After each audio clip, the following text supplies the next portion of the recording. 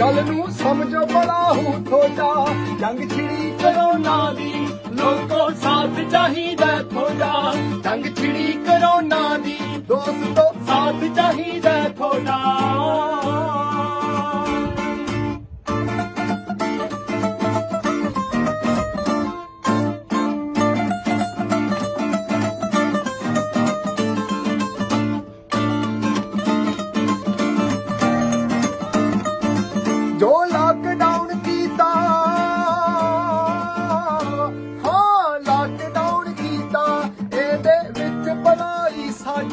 ਜੋ ਦੇਸ ਅਵੇਸ ਨਰੇ ਉਹਨਾਂ ਦੀ ਹੋ ਗਈ ਐ ਬਰਬਾਦੀ, ਪ੍ਰਸ਼ਾਸਨ ਚਾਹੁੰਦਾ ਏ।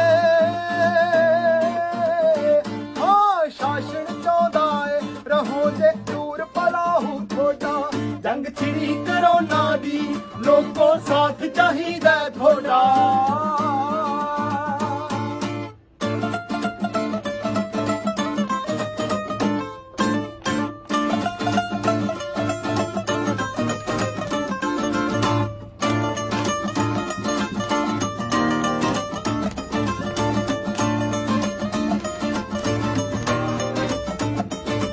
ਡਾਕਟਰ ਪ੍ਰਸ਼ਾਸਨ ਨੇ।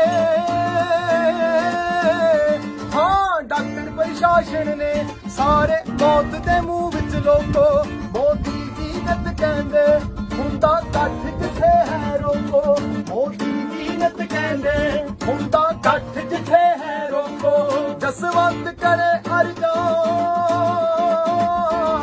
ਹਾਂ ਬੰਦ ਕਰੇ ਅਰਜਾ ਜਿਹੜਾ ਸੰਭਲ ਨਾ ਮਿਲਣਾ ਜੰਗ ਛਿੜੀ ਕਰੋਨਾ ਦੀ। ਲੋਕੋ ਸਾਥ ਚਾਹੀਦਾ ਥੋੜਾ ਹਾਣੀਓ ਸਾਥ ਚਾਹੀਦਾ ਥੋੜਾ